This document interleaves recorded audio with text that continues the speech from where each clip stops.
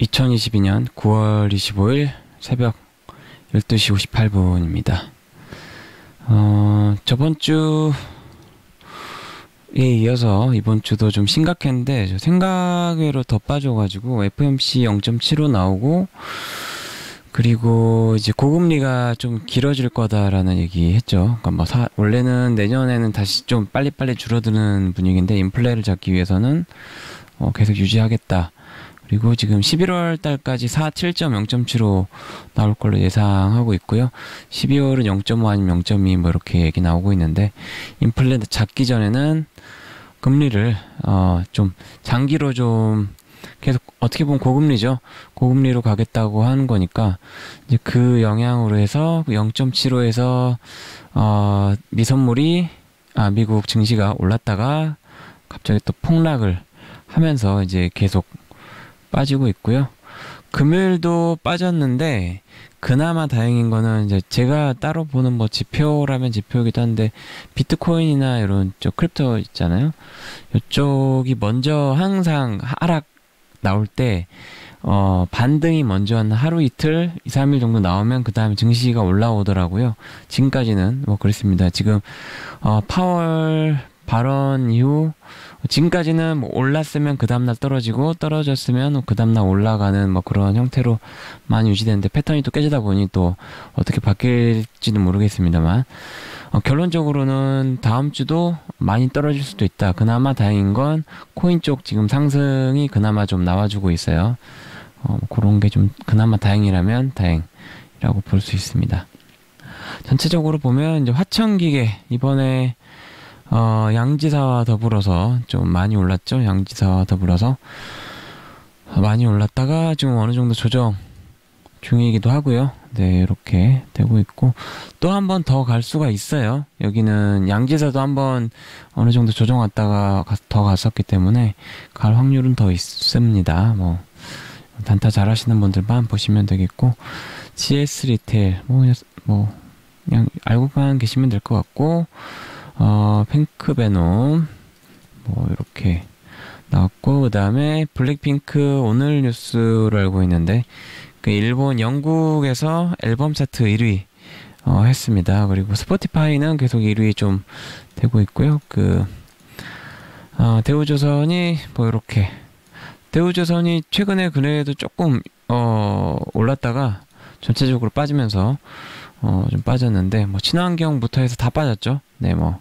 네, 이렇게 그런 게 있었고 그다음에 블랙핑크 이렇게 나와 있고 그다음에 1차 수주에 6척이 남았다.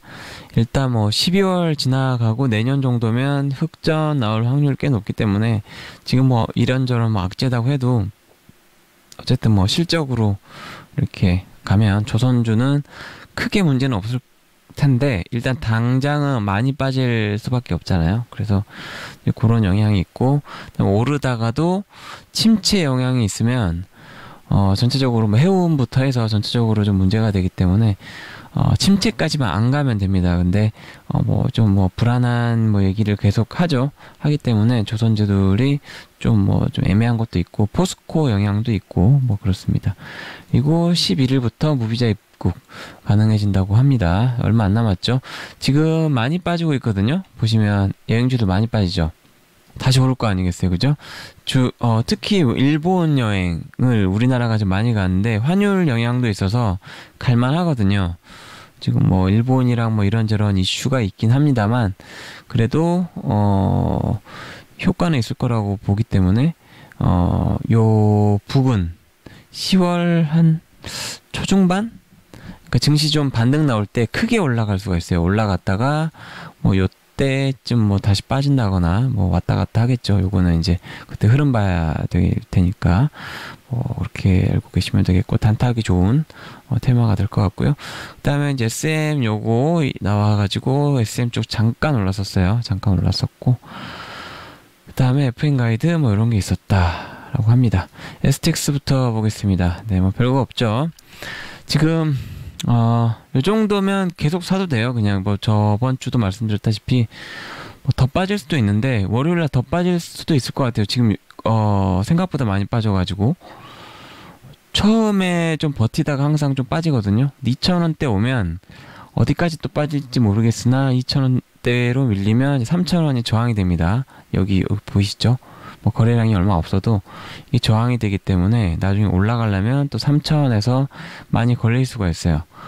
어, 그 정도는 알고 계시되 이제 천천히 계속 뭐 매집하시면 된다라고 저는 어, 생각하고 있습니다. 뭐 왜냐면 실적이 좋아지고 있기 때문에 어, 크게 걱정할 건 없고 단지 어, 걱정되는 건 부채가 많죠. 부채 줄어들고는 있는데 아직 많습니다. 그래도 뭐 니켈 가격 상승 중이고 니켈이 뭐 선물로 거래하는 건지 어떻게 하는지 모르겠는데 뭐 계약이 끝나면 이제 높은 가격으로 받게 될 테고 그러면서 좀 좋아질 수도 있다. 그리고 조금 또 불안한 거 하나 더 하자면 이라크 쪽에서 마린 서비스 있죠. 마린 서비스 돈 받을 게 있는데 안 들어오고 있잖아요. 어, 요게 지금 하나도 그렇고 좀 대기업 쪽에서도 어, 일은 하고 돈은 못 받는 뭐 그러니까 예를 들어 거기에 뭐 집이라고 해야 되나요? 그 저기 도시 건설 이런 것도 해서 돈 아직 못 받기도 하고 이런 게 있대요. 이런 게 있어서 이런 게 잘 풀려야 좀 어, 조금 좋아질 수 있다라고 볼 수도 있죠. 근데 어쨌든 돈을 안 받아도 지금 흑전 나오고 있기 때문에 어, 또 3분기 또 봐야겠지만 어쨌든 지금 뭐 계속 좋아질 거라고 저는 보고 있기 때문에 어, 그거, 뭐 그런 부분, 그리고 다른 뭐, 뭐 매각이랄지 뭐 이런저런 또 이슈가 되면 또 크게 튀어오를 수 있으니까 저점일 때는 그냥 천천히 여유 되실 때마다 묻어두셨, 어, 매수를 하셨다가 튀어오를 때 그 VI 터질 때 그냥 정리하시면 어, 추매한 것보다 좀더 어, 높은 가격이면 이렇게 해서 물량을 이렇게 많이 아, 사실 뭐 갈 때는 된 것 같긴 한데, STX나 중공업이나. 근데 지금 뭐, 좀 그렇기 때문에 전체적으로 시장이, 어, 조금 반등이 혹시라도 나온다고 하면, 어, 정리를, 어, 추매한 거는 꼭 정리를 했으면 좋겠어요. 네. 이거 중공업 보겠습니다. 어, K조선이 발급, RG 발급이 안 됐어요. 그러니까 산업은행이나인가요? 그쪽에서 안 해줬죠. 그래서 선박 취소 대기가 됐고, 아, 삼자배정 농협은행 나왔는데 2,500 발행되는 거고 어, 그 전에 감자 포함해 가지고 그러니까 주당 20만 원이 되기 때문에 삼자 배정이긴 한데 신주 8,151주고요. 요게 그 어, 그게 없어요. 그 보호예수, 보호예수가 없고 그냥 팔아도 되는 건데 이거 계산해 보니까 마이너스 60인가 80% 손해 보는 거더라고요 농협에서. 어, 좀 올라야겠죠? 네, 20만 원이니까 또 어느 정도는 올랐을 때 팔던지 아니면 아예 그냥 손실 처리 빨리 하고 뭐 가던지 뭐 둘 중에 하나 할 것 같습니다. 근데 이렇게 한다는 것 자체가 어, 잘 모르겠지만 그래도 뭔가 있지 않을까라는 생각을 좀 하긴 하거든요. 그래서 삼자 배정 들어오는 그 시점 전후로 해서 좀 뭔가 움직임이 나올 수도 있겠다라는 생각은 하고 있습니다. 그리고 K조선 여기 승 임단투 승리 투쟁 선포. 그러니까 이쪽이 지금 이교대식으로 해서 그 일을 뭐 이렇게 좀 많이 좀 자르기도 했고 했는데 어, 다시 뭐 회복하고 뭐 돈도 좀 올려달라 뭐 이런 걸로 해서 어, 대우조선 했던 것처럼 이제 좀 어느 정도 하고 있다고 보시면 될 것 같습니다. 어, 어떻게 될지 모르겠지만 KO조선이 지금 3, 2분기 흑전 나왔거든요. 어, K조선 같은 경우는 예전에 그 수주를 못 받다가 어, 지금 유, 어, 성과가 높았을 때 받았기 때문에 뭐 그런 것 때문에 좀 흑전이 됐는데 뭐 이런 것도 뭐 악재라고 또볼 수도 있긴 있습니다. 네. 어, 차트를 보면 이제 4,000원, 어, 보통 한 4,000원 한 200원, 400원 정도 여기서 안 밀려야 되는데 밀려버렸죠. 그리고 증시가 또 안 좋기 때문에 여기 또 3,000원대 한번 또 갈 수도 있겠다. 어, 라는 생각이 좀 들고요. 그래도 어느 정도 버텨줄 수도 있을 것 같기도 하고, 어, 3,000원대는 뭐 그래도 각오해야 되지 않나 싶을 정도로 증시가 매우 안 좋아요. 그나마 다행인 건 코인 쪽 조금 반등 나오고 있다는 거. 어, 뭐딱 버텨야 될 것 같고요. 네. 어, 그 다음에 유니온 머티리얼 어, 특별히 할 말 없고 여기는 조금 올라도 될 법한데 그래도 좀 빠지고 있습니다. 전체적으로 빠지고 있기 때문에 그래도 이슈 한 방에 또 날아갈 수도 있는 뭐 그런 종목이기 때문에 일단은 뭐 들고 있는 게 좋을 것 같고 중국이랑 계속 어, 사이 안 좋아질 거니까요. 어, 그리고 어, 이 정도면 이제 예전에 8 정도는 됐기 때문에 어느 정도 물량 소화하고 한번 또 튀어 오를 수는 있기는 있습니다. 다날 어, 페이코인이 지금 크게 안 움직이고 있죠. 지금 뭐 루나 쪽 그 곤도형 어, 쪽을 지금 검찰에서 어, 그 여권 말소 뭐 이런 식으로 해서 들어오게 하려는 것 같아요. 들어오게 해서 검찰 수사 받게 하고 이걸로 좀뭐 이슈 몰이를 꽤 할 것 같긴 합니다. 워낙 피해자가 많기 때문에 이걸로게 뭐또 그 여당이나 뭐 대통령 지지율에도 또 상승 나올 수도 있는 부분이기도 하고 동시에 뭐 또 이런저런 악재도 있고 뭐 하기 하긴, 하긴 하지만 어, 그걸로 봤을 때 다날이 페이코인이 승인이 더 늦게 나오거나 조금 불리할 수 있다 이렇게 보시면 될 것 같아요. 아무튼 조금 아쉬운 부분이고 유니슨 어, 지금 우리나라 쪽은 풍력이랑 이런 거 좀 줄이고 있고요. 태양광도 지금 뭐 검찰 수사 들어가는 걸로 알고 있고 그래서 우리나라 쪽은 조금 별로 해외 쪽으로 역시 좀 잘 풀려야 되고 해외 쪽에서 뉴스 나오면서 좀 추세 살아나면 그때 다시 올라가지 않을까 싶고 어, 국내에서 하는 거는 지금 많이 줄여 나가고 있기 때문에 조금 애매해졌어요. 어쨌든 원전을 조금 더뭐 키우려고 하는 것 같으니까. 아, 하지만 결국은 가긴 가야 될 어, 산업이기 때문에 버티시면 될 것 같고요. 아, 이 정도면 그 내려올 만큼 내려온 거니까 2000, 또2000 아래 내려오면 2000 초반이나 이럴 때 조금씩 어, 추매해도 된다고 저는 네, 보고 있습니다. 그리고 대한전사 뭐 특별히 뉴스는 없었고 여기 살짝 반등 나올 듯 했는데 어, 좀 밀려버렸어요. 증시 아마 밀려서 더 밀린 듯 싶고요. 어, 한 요 정도까지 밀릴 수도 있을 것 같습니다. 1,300원? 네, 정도. 네, 아무튼 뭐, 어, 어쨌든 여기도 인프라 확대든 어쨌든 하긴 할 텐데, 이런저런 걸로 해서, 어, 뭐 원전을 짓든 뭘 짓든 뭐 친환경을 하든 뭐 전선은 들어가긴 하니까 어, 기다리시면 될 것 같고 어, 그나마 조금 불안한 건 이제 호반 쪽 어, 이쪽 악재가 또 나올 수도 있다. 뭐 이 정도로 보시면 될 것 같습니다. 역겨 그 모 회사기 때문에 같이 보시면 좋아요. SM 라이프 디자인 어, 살짝 튀었다가 어, 내려왔죠. 네, 뭐 별건 없었고 뭐 증시 밀리면서 계속 밀리고 있는데 여기는 이슈에 또 한 번 다시 올라갈 수 있기 때문에 어 전에 한 2,500, 600원 이 정도까지는 더 갈 수 있기 때문에 많이 빠지면 기회라고 보시면 될 거예요. 예. 어째 매각도 있기 때문에 어 쉽게 쉽게 돈 벌 수도 있는 어 테마주로 보면 되겠습니다.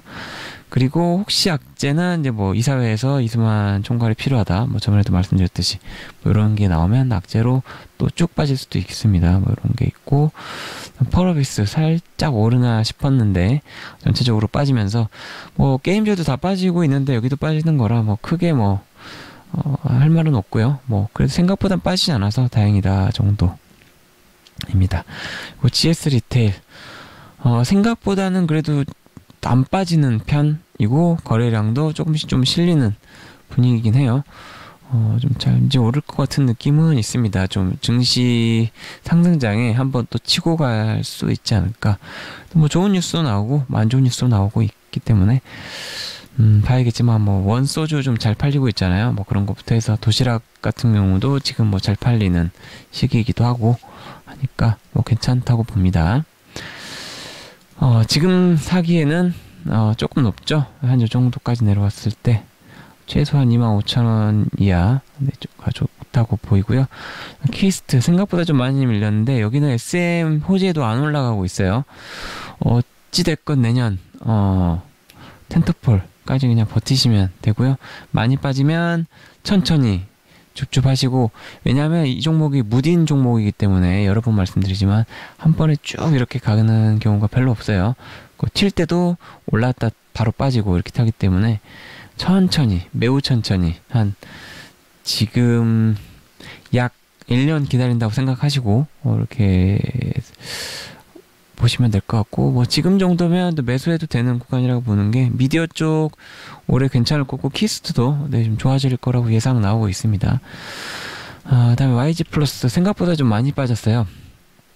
추매한 다른 계좌는 지금 어, 마이너스고 그다음에 예전에 샀던 조금 플러스인데 조금 더 빠지면 팔까 살짝 고민도 하고 있고 아니면 빌보드 순위 이번 주 나오면 이제 다음 주죠. 나오면 그때 올랐을 때 일부 정리해서 왜냐면 계좌에 두 개가 있으니까 정리해서 다른 쪽 좀 작업을 좀 해볼까 합니다. 좀 많이 빠진 쪽 네, 이렇게 보고 있고요.